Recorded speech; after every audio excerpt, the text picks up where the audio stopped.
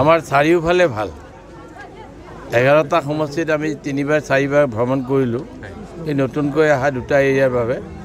এতিয়া এইটো এটা নতুন এৰিয়া আৰু এটা কমলপুৰ সমষ্টিত আহিছে জালুকবাৰীৰ পৰা তাত গৈছোঁ মই আগতেও। ইয়াতহে অহা নাছিলোঁ। বাকী জেগা সকলো জেগাতে গৈছোঁ। ভাল চলিছে। সকলো মানুহৰ পৰা আদৰণি পাইছোঁ। সহানুভূতি পাইছোঁ আৰু আন্তৰিকতাৰে গ্ৰহণ কৰিছোঁ। মুখ্য প্ৰতিদ্বন্দ্বী আপোনাৰ কোন হ'ব? মুখ্য প্ৰতিদ্বন্দ্বী বুলি কোনো নাইকিয়া।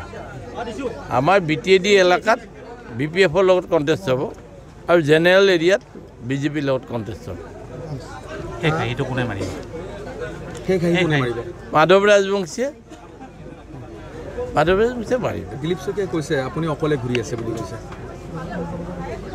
তেওঁহে কৈছে বাকীবিলাকেতো কোৱা নাই। আপুনি কি ক'ব দিলীপ ক'ব? কিয় মই অকলে ঘূৰিম? মই দিলীপ শইকীয়াৰ ওপৰত কোনো কমেণ্ট নকৰোঁ মই তেওঁৰ বিপক্ষে সপক্ষে কমেণ্ট কৰা কোনো আৱশ্যকতা অনুভৱ কৰাই নাই এই সময়ত কাৰণ মই এতিয়া কাৰো লগত মুখ চুপতি মৰা সময় নহয় মই ৰাইজৰ ওচৰত যাই নমস্কাৰ দিয়াৰহে সময় মোৰ।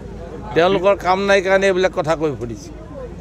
বিধায়ক দিগন্ত কলিতাই কৈছে যে আপোনাক হেনো মুখ্যমন্ত্ৰীয়ে প্ৰক্ষেপ কৰিছে। তেওঁ জানিব মই নাজানিম। দেই ইমান কথা মোৰ জ্ঞান নাই হৈছে আৰু মই তেওঁক সেইদিনাখন কৈছোঁ যে তোমাৰ বয়স হোৱা নাই তুমি কালি এম এল এ হৈছা মোক সমালোচনা কৰাৰ অধিকাৰ তোমাৰ নাই আৰু সময়ো হোৱা নাই।